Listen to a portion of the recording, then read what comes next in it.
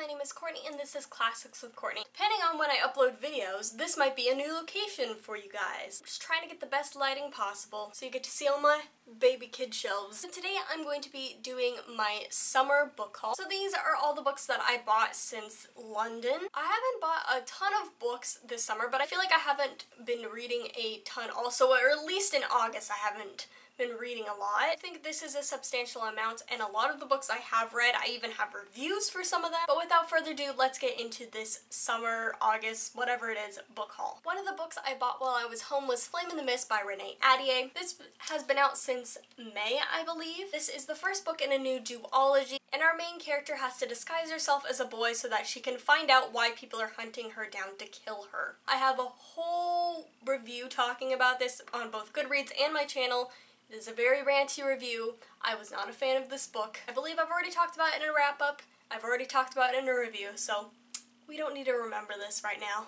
We don't need to think about this one right now. Another book I bought since being home is another 2017 release, and that is The Gentleman's Guide to Vice and Virtue by Mackenzie Lee, which is now a duology. She's going to have another companion book, and I absolutely adore this book. It's one of the best books I've read this summer. I think this takes place in the Victorian era. Our main character, Monty, is going to be the owner of an estate, but he's going to go on one last romp with his best friend and his sister, and Monty is hoping to maybe even get his feelings out to Percy because this will be the last time he sees him for a very long time. Again, I have a review of this book because I really, really adored this book. So if you want to know all of my thoughts about it, definitely go check it out. The next book I have is Eliza and Her Monsters by Francesca Zappia. I read this during Booktubeathon and I enjoyed it, but I didn't love it as much as I was hoping to. Again, I have another full review of this book so you can check out all of my thoughts about it. This again is another 2017 release. I've been doing really good with the releases. So yeah,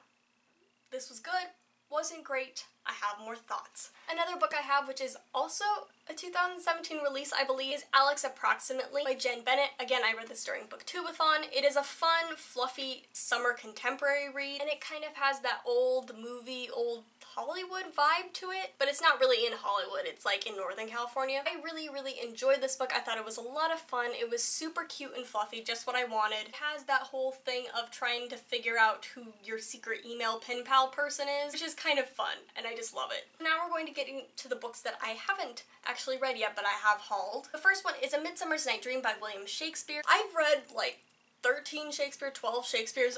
This is one of the most famous or was popular and I haven't actually read it. It's really short so I decided to pick it up and I still want to finish it this month if I can. If you don't know, this is the Shakespeare where everybody's falling in love with the wrong person because of like a Cupid-like figure that's kind of making them do things. I don't think this will ever be my favorite Shakespeare just because I'm a tragedy girl all the way through, but I think it'll be a lot of fun. The next book I have, which is also on my TBR for this month, is I Believe in a Thing Called Love by Maureen Goo. So I've been picking up a lot of contemporary recently, but when I heard the premise of this one, I really wanted to read it. Our main character is kind of obsessed with Korean dramas, I think, and so she decides to take all the rules from Korean dramas and apply them to her love life and try to see if it works. As a fan of Korean dramas, this book just speaks to me on a whole new level, and I'm really excited to read it. The next book I have is Three Dark Crowns by Kendare Blake.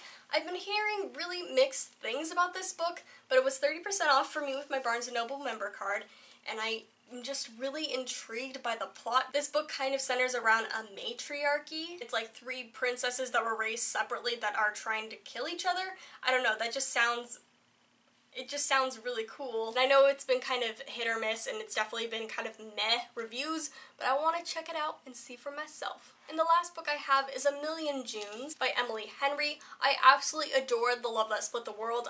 It's like a book I know I shouldn't like because it had a lot of things that I normally don't like in books at all, but for some reason it just, I just loved it. I don't know why.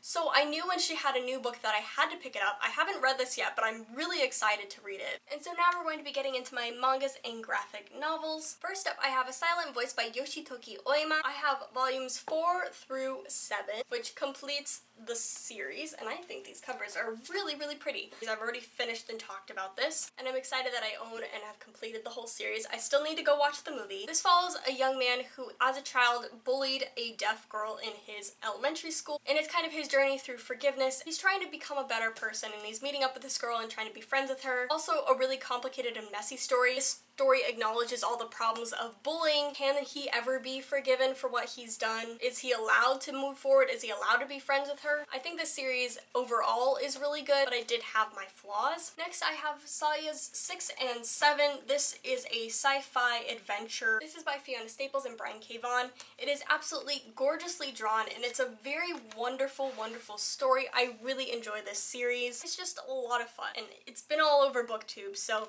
if you're into comics, I would definitely recommend checking it out. Last, but certainly not least, I have Avatar The Last Airbender comics. This is North and South Volumes 2 and 3, which completes this arc of the series, and it might complete the Avatar The Last Airbender comics for now at least, because I haven't heard word of them printing out a new comic this coming year. Hi guys, so I actually made a classic rookie mistake and forgot to do an outro. And since I cannot film at this time and I really want to get this video out for tomorrow, I thought I would just do it this way. So thank you for watching. I hope you guys enjoyed this video. I'll see you guys later and keep it classy.